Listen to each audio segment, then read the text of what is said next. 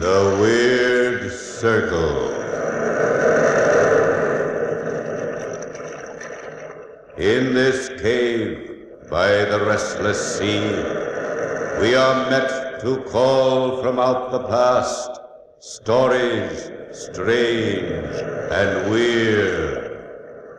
Bellkeeper, toll the bell, so all may know we are gathered again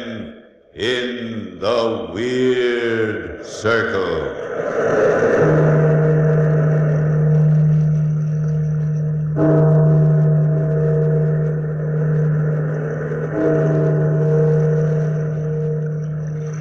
Out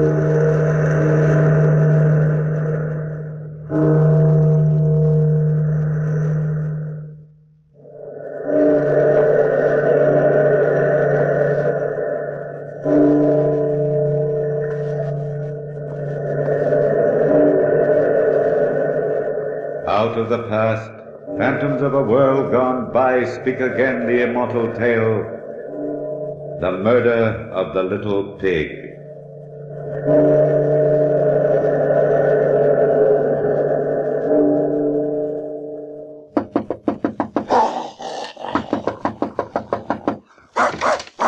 Down, Coquette. Oh. Down, I say. Now go to your corner. Welcome in, Monsieur Lahan. This is a surprise. Excuse my dropping in like this, Monsieur Lecoq, but I, I, I must see you. Well, yes, of course. It's a pretty tough customer you got there. Coquette? Oh, she's only bluffing. Please make yourself comfortable. Now, Coquette, stay in your corner. Coquette. Uh, isn't that the dog that was the principal witness in your last case? Yes, and if she only could have talked, I would have not had such a difficult time. But you've come to see me about something, my friend. What is it? Well, you know, Lecoq, I've been plaguing you for years to let me write up some of your interesting criminal cases. You, you know, are probably the most popular citizen of Paris. Oh, no. Oh, yes, you are. Certainly the greatest detective of our time. Why, people weigh your least word. Just imagine how they devour one of your stories, fictionized. But- uh, now, now, you aren't putting me off any longer. My paper says get Lecoq's stories or get out. you you don't want to see me lose my job. Oh, hardly. All right, my young friend Lahan. You've bearded me at last in my own den. But I've known a lifetime of crime. Where would I begin? well, uh, what about your last case, which involved the dog, Coquette? Indeed, why not? That was a baffling mystery. It had a strange, unearthly element, which has never been explained. And it centered around a very pretty woman. Well, it sounds made to order. And, uh, by the way, how did you happen to acquire the dog? Well, that's part of the story. We'll come to that. Now, let me think a bit about this story. Maybe I should refer to my notes. It's file number 23. Yes, and here it is.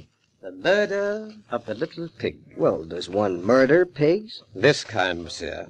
You know how Parisians are. They're forever giving names to people whose appearance or personality reminds them of animals. In French criminal history, we've had the wolf, the fox, the rabbit, the leopard, That's true. and the little hairdresser Henri Coudray was called the little pig. Well, it was past midnight when I received word to hurry to the Rue Batignolles. That murder had been done. When I arrived, the police commissioner took me to the scene of the crime. And there on the bedroom floor the body lay, in the position in which it had fallen. Well, there's little for you to do in this case, Lecoq.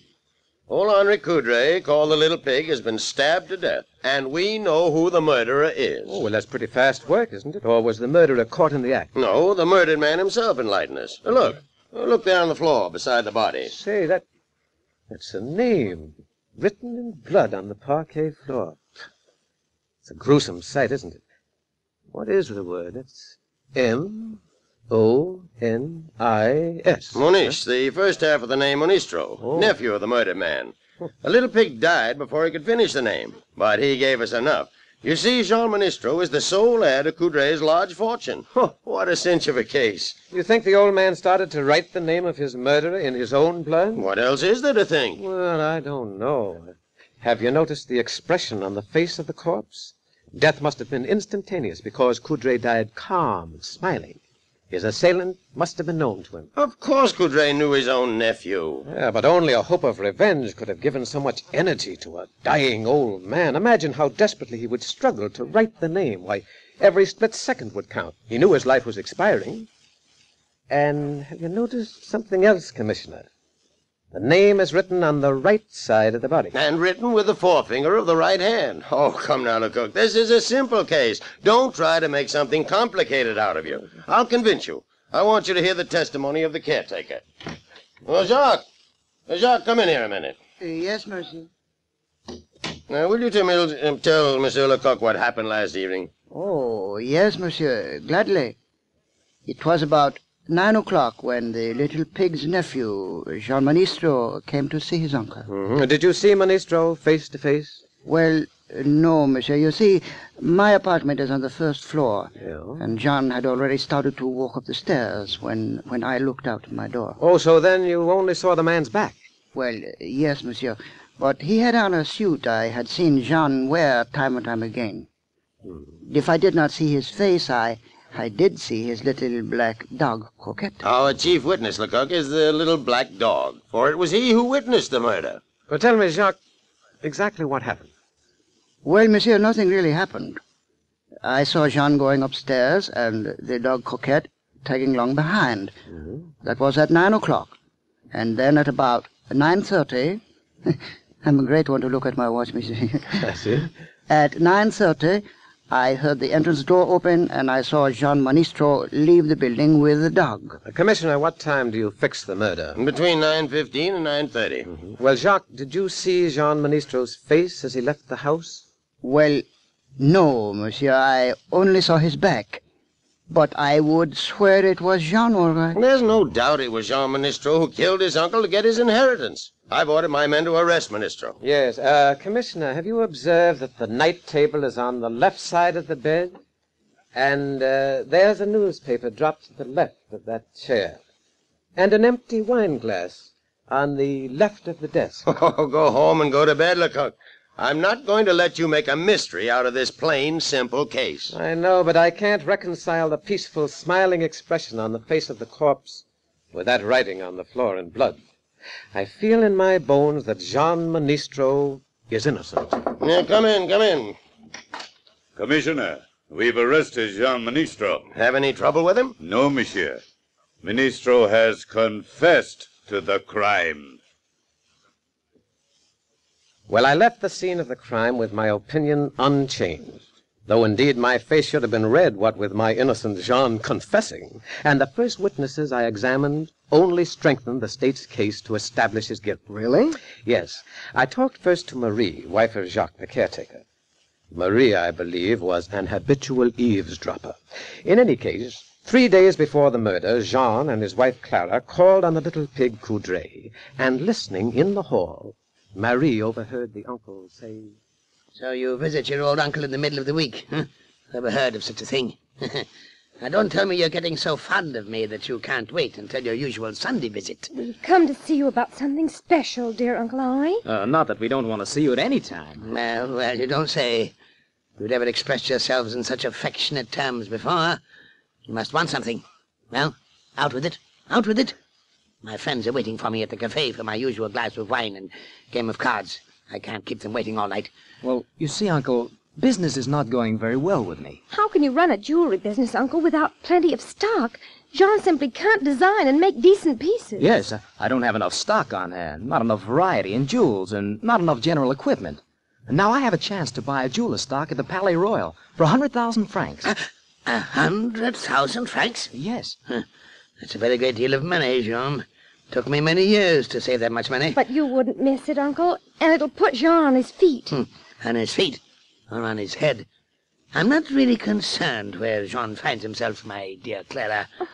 After my death, you two may throw away my money as you see fit. But until death closes these eyes, I intend to keep my money and enjoy it. yes, all of it. No wonder you're called a little pig. Clara, Clara, hold your temper. Why should I? At last I'm going to tell him what I really think of him. You were even more beautiful, Madame Clara, when you were angry. but you should watch your words. I just might take it into my head to leave all my lovely money to a foundation for stray cats. I don't care what you do with it. The money will do us no good when we're too old to enjoy it. We need a hundred thousand francs now. Now. Oh, come, Clara, it's, it's no use. Hmm, Jean is wise, Clara. I couldn't even part with the hundred thousand francs I've worked so hard to earn. Worked so hard to earn. All Paris knows how you earned your fortune.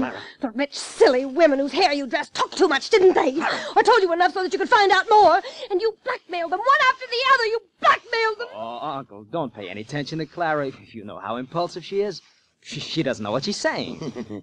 I'm too old to hold grudges. I'll come now. My friends at the cafe are waiting. Good night, children. Good night. Watch the stairs. The hall is dark. Pig. You little pig. Oh, Marie. You nearly tripped me. What are you doing out here in the hall? Oh, merely cleaning up, madame. This time of night. What do you take me for? Well, I'm glad you know now what kind of a man dear Uncle Henri is. Come along, Clara. You've said enough. Marie, when you bring up Uncle's cafe au lait in the morning, put a little arsenic in it for me, will you? Oh, madame, how you talk. Well, I hate the little pig. I'd kill him if I could. Come, Clara, come. You shouldn't say such things. Well, Marie's story made my theory of Jean's innocence seem very weak indeed. Oh, I should think so. Still, I insisted that when Jean left his uncle's house that night, he was not as yet a man driven to murder. Why, Jean wasn't even angry.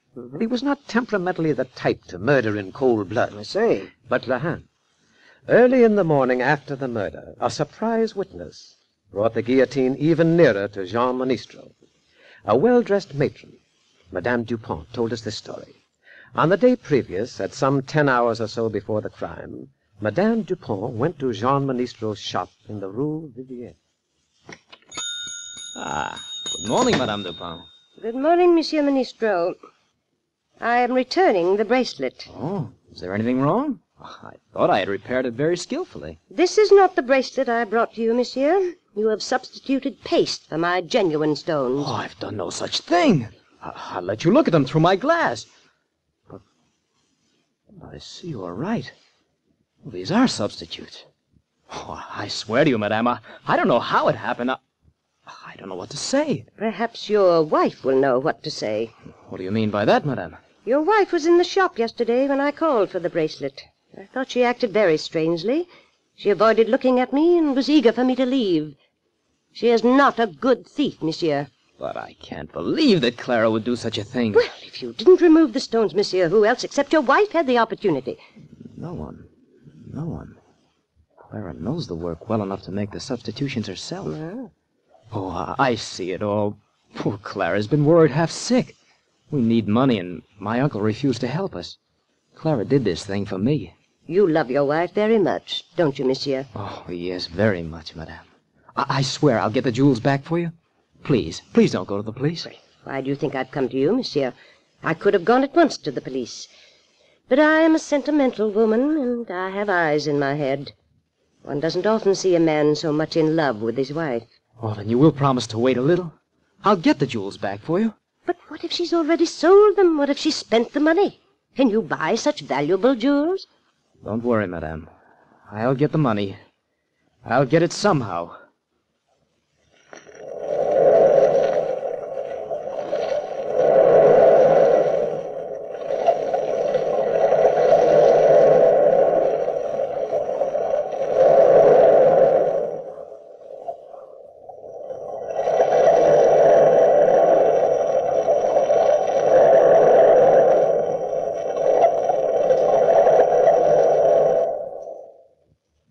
And so you see, Lahan, Madame Dupont furnished the state with the strongest possible motive in the case against Jean Monistro. Yes, I see. But doubt as to his guilt persistently tugged at my mind. It was still early morning, and Jean had not been examined since his confession on the previous night.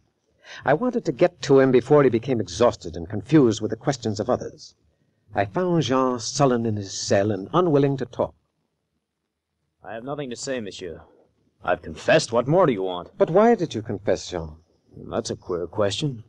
I guess the answer is, uh, I'm a man who doesn't know how to hold out. I Hadn't gotten away with a murder, I, I think. Jean, where did you buy the revolver you used? I had it in my possession a long time. Years, I guess. What did you do with it after you killed your uncle? I threw it into the Seine. Your little black dog, Coquette, misses you, Jean. She won't eat. I wish I could have her here with me. She was a one-man dog. Coquette followed me everywhere. Please go now, monsieur. I, I've no more to say to you. I left Jean now convinced that he was innocent. But where in all Paris would I find the guilty one? I decided next to go to the Rue Vivienne and call on Madame Clara. Uh, what can I do for you, monsieur? No one is here. I mean to say, poor monsieur is away, and madame is just leaving. Well, who are you, young woman? Uh, Sybil, madame's maid. Now, if you wish to leave an order, or if you wish to buy anything... I'm not here to buy, mademoiselle. I am Lecoq of the police department. Oh. I must speak to Madame Monistro. Oh, oh, my goodness, monsieur. Uh, right away. Uh, madame, uh, madame. I'm right here, Sybil. I heard what the gentleman said. Down, Coquette. Go on, go back. Go back in the room. Take him with you, Sybil. Uh, come along, Coquette. Like a good dog. well, you have a very good watchdog, madame. Jewelers keep good watchdogs, monsieur. Does your dog never make up to strangers? No, never. Coquette really only likes my husband. Uh, why are you here? I heard you say you're from the police department. Yes. Here is my identification. I see. Well, perhaps you know I've received a summons to appear at court this afternoon for examination. I must leave in a few moments. Yes, I know, but I wanted to speak to you before you left. Oh? Do you think your husband is innocent, madame? I'm sure of it. Jean couldn't kill a fly. So it has seemed to me. Jean is not the type to kill even a fly. But you know that your husband has confessed. I'm sure that Jean is convinced that I killed his uncle. He knew how I hated Uncle Henri, and then I, uh, well, I did something foolish, monsieur. Oh? We needed money, and I borrowed some jewels. I believe that Jean found it out. But he didn't know that I still have the jewels, and I'm going to give them back to Madame Dupont. I'm sure he thought I was desperate, that I'd sold the jewels, spent the money, and then got frightened and killed his uncle, whom I hated, so that we could get the inheritance. You have your husband's reasoning pretty well figured out, haven't you, madame? Oh, but I know Jean so well. Did you kill his uncle? No, monsieur. And I have three witnesses that I was home that night. It was hot, and I asked three neighbor ladies in to have ice cream with me. They were here from nine o'clock till after ten. Well, if you have three witnesses, you have indeed a perfect alibi. But where was your husband at that time? Well, it's quite unfortunate, but uh, Jean went to see a workman about making some artificial pearls. Everything was unlucky that night for Jean. The workman wasn't at home. And I haven't been able to find anyone who saw Jean all evening. What time did he leave the house? About 8.30. He came home about 10.30. I know what you're thinking. Jean was away at exactly the right time for him to have gone to his uncle's apartment and killed him and returned. But I know Jean's innocent. I, I know it. Where was the dog during the evening? Coquette? Hmm. It's a funny question. Well, I, uh, I didn't notice where the dog went. Uh, still, I believe Coquette followed her master. Yes, yes, I'm sure she must have followed Jean. La Hand, Madame Clara was from first to last a mystery to me. When I left the shop, I decided to question Madame Clara's neighbors and find out what they thought of her. They talked readily. A pretty woman, but extravagant. Madame Clara has admirers, lots of admirers. I don't know anything about her. Madame is discreet. She drove her husband to the crime, that's what I think. Yes, she had lots of admirers, but who can say one thing wrong about her? And while talking to Madame Clara's neighbors, the idea came to me which I was sure would put me on the trail I was seeking. Oh, what was that? I had already seen Madame leave the house, so I knew I could find the maid, Sybil, alone when I returned to the shop.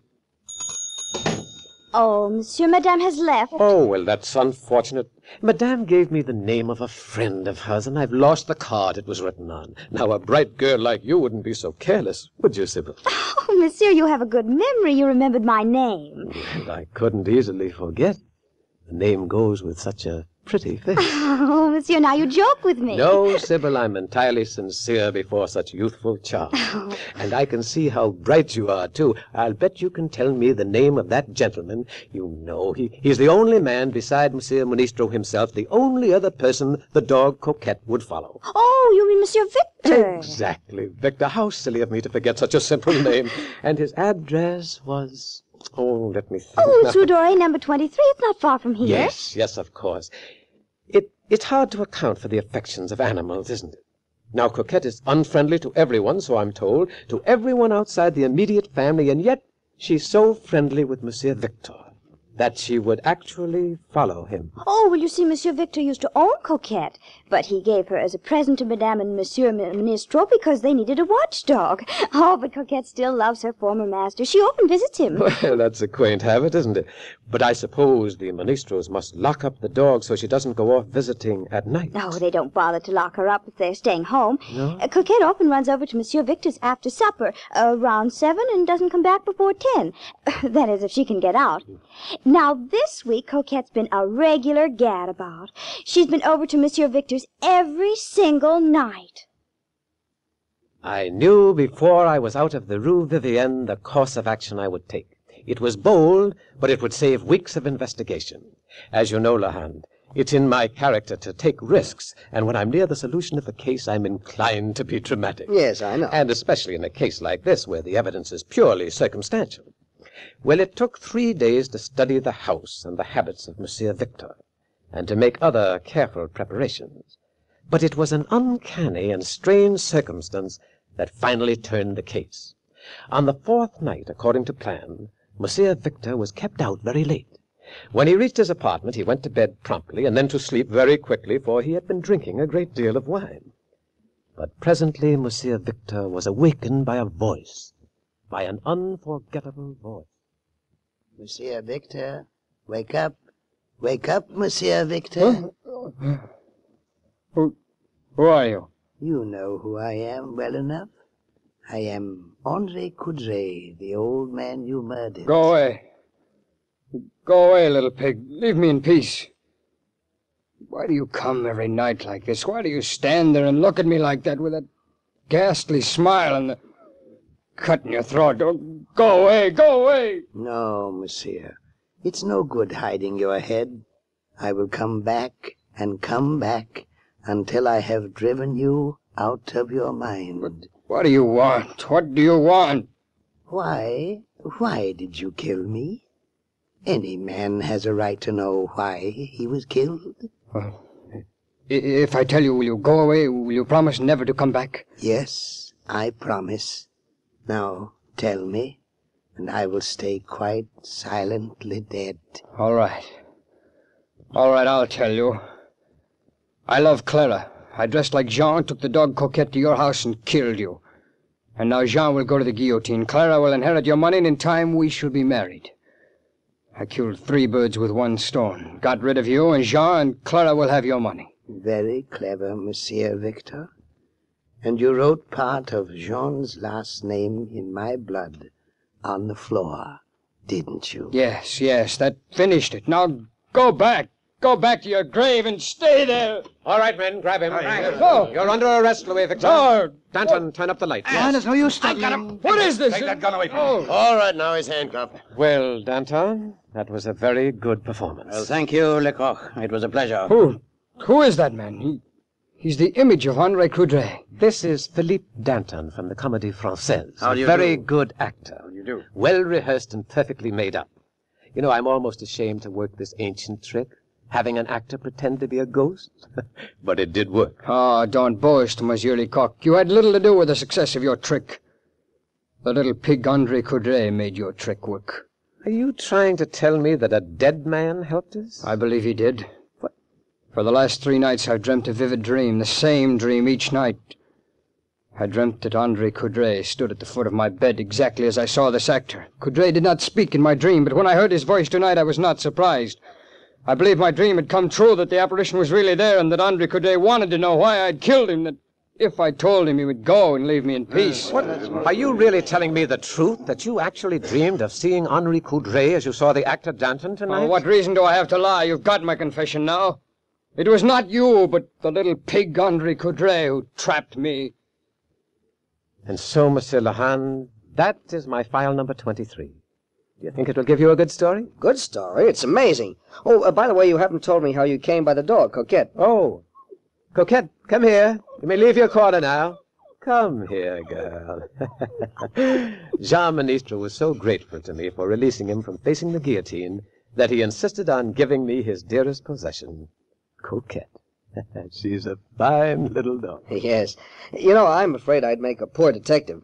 I lost sight of some of your clues. Now, uh, what made you so sure that Jean Monistro was innocent? Well, sometimes the things that are not seen are near enough to put the eyes out. Yeah. You remember how I had observed that the night table, water, wine glass, and so on were all at the left side for convenience, but the letters we found on the floor, M O N I S, were at the right of the body, written with the right hand. Well, I later confirmed my first impression that Coudray was left-handed. And besides, the police commissioner had greeted me with the information that Coudray had been stabbed. But later I asked Jean in his cell what he had done with the revolver, and he answered that he had thrown it into the river Seine. Well, I suppose Clara was convicted as Victor's accomplice, wasn't she? No, we suspected her, but suspicions are not truth. She denied knowing of Victor's affection for her, and we could get absolutely nothing against her. But always I have wondered, was Clara merely a clever, discreet woman and a good actress? Was she Victor's accomplice? What do you think?